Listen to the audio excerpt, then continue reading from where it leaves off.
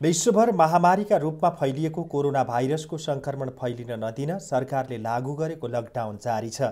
सरकारले चैत्र एघार गतिदेखि देशमा लकडाउन लागू गरेको हो। सरकारले पछिल्लो पटक दस दिन समय थप गरी वैशाख पच्चिस गतेसम्म लकडाउन लम्ब्याएपछि काठमाडौँ उपत्यकामा लकडाउन उल्लङ्घन गर्नेहरू बढेका छन्। सडक पेटीमा मानिसहरूको आवागमन फाटफुट्ट देखिन्छ। सडकमा गुट्ने सवारी साधनहरू पनि केही बढेका छन् तर प्रहरीले चोक चोकमा बसेर सवारी साधनको चेक जाँचलाई कडाई पारेको छ। सडकमा सवारी साधनहरू बढी देखिएपछि प्रहरीले कडाई गर्दै परिचय पत्र हेरेर कारवाही गर्ने गरेको छ। अत्यावश्यक सेवाका सवारी साधनहरू सञ्चालनमा कुनै रोक लगाएको छैन भने खाद्य वस्तु ढुवानीका साधनहरू पनि सञ्चालनमा रहेका छन्। सहरका भित्री सडकमा पनि आफ्नो घर नजिकको पसलसम्म पुगेर किनमेल गर्नेहरू देखिन्छन्। भित्री सडकमा केही पसलहरू सञ्चालनमा आएका छन्।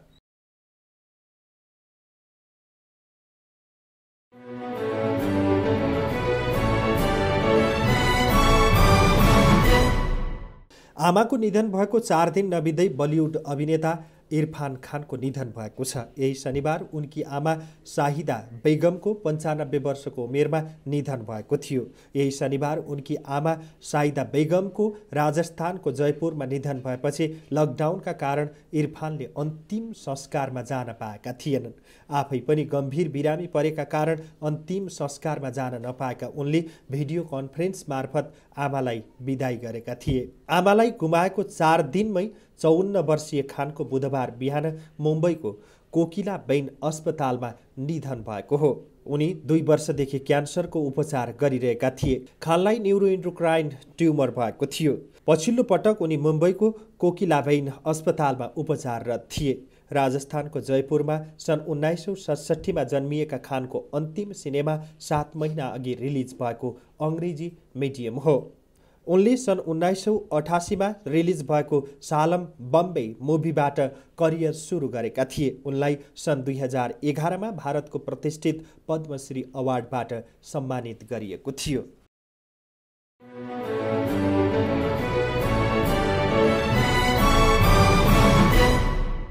दुई दिनदेखि मृतकको सङ्ख्यामा कमी आएको अमेरिकामा कोरोना भाइरसका कारण मृत्यु हुनेको सङ्ख्या फेरि बढेको छ।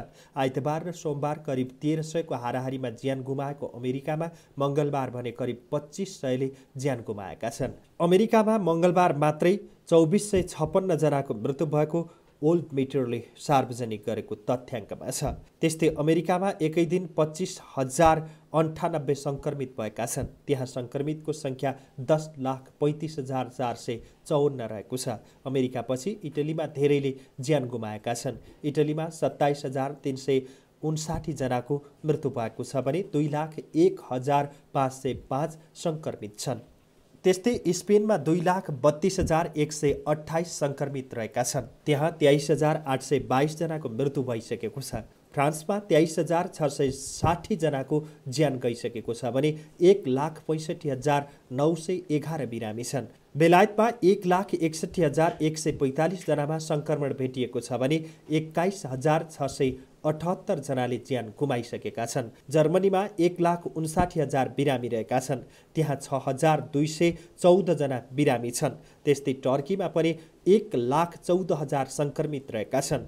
टर्कीमा दुई हजार नौ सय बयानब्बेजनाको मृत्यु भइसकेको छ। रुसमा तीव्र रूपमा फैलिएको यो भाइरसका कारण एकै दिन त्रिहत्तरजनाले ज्यान गुमाउँदा तिरानब्बे हजार पाँच सय अन्ठाउन्न सङ्क्रमित छन्। त्यहाँ आठ सय सतसट्ठीजनाले ज्यान गुमाएका छन्। इरानमा पाँच हजार आठ सय सतहत्तरजनाको मृत्यु भएको छ। त्यहाँ बयानब्बे हजार पाँच सय चौरासी सङ्क्रमित छन्। नेपालको छिमेकी देश चिनमा मृत्यु शून्यमा झरेको छ। चिनमा छजनामा सङ्क्रमण देखिएको छ। त्यहाँ हालसम्म बयासी हजार आठ सय छत्तिसजनामा सङ्क्रमण देखिएकामा सतहत्तर हजार पाँच सय पचपन्नजना निको भइसकेका छन्। भारतमा एकतिस हजार सङ्क्रमित हुँदा त्यहाँ मृत्यु हुनेको सङ्ख्या एक हजार नागेको छ। त्यहाँ एक हजार आठजनाको ज्यान गइसकेको छ। कोरोनाका कारण विश्वभर अहिले एकतिस लाख छत्तिस हजार दुई सय बत्तिसजनामा सङ्क्रमण देखिएको छ भने मृत्यु हुनेको सङ्ख्या दुई लाख सत्र हजार सात सय उनासय रहेको छ। विश्वभर नौ लाख त्रिपन्न हजार दुई सय पैँतालिसजना निको भएर घर फर्किएका छन्।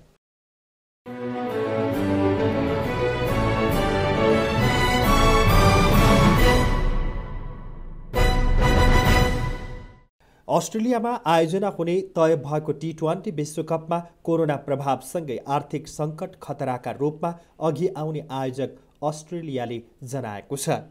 अस्ट्रेलियाले आगामी सङ्कटसँग जुझ्न भन्दै आफ्ना सबै स्टाफहरूको अस्सी प्रतिशत तलब कटौती गर्ने निर्णय गरेको छ। यो निर्णयसँगै टी ट्वेन्टी विश्वकपमा आर्थिक सङ्कटकै कारण प्रतियोगिता आयोजनाको सम्भावना कमजोर हुने आशंका गरिएको हो। आगामी वर्ष अन्तर्राष्ट्रिय क्रिकेटबाट हुने कमाइमा पचास प्रतिशत कमी आउने सम्भावना भएकाले अहिलेबाट नै त्यसको तयारी स्वरूप स्टाफको तलब ठुलो मात्रामा कटौती गरिएको हो। अस्ट्रेलियन क्रिकेट बोर्डले भने समयमै विश्वकप आयोजना हुने आशा कायम रहेको जनाएको छ।